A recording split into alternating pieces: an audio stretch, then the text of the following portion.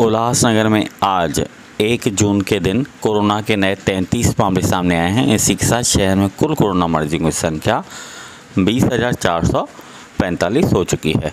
वहीं आज बयालीस लोगों को डिस्चार्ज दिया गया है। इसी के साथ अब तक कोरोना मुक्त हुए लोगों की संख्या उन्नीस हज़ार पाँच सौ सात हो चुकी है। वहीं कोरोना की वजह से अब तक चार सौ चौहत्तर लोग अपनी जान गंवा चुके हैं। इस समय शहर के चार सौ चौंसठ मरीज़ एक्टिव हैं।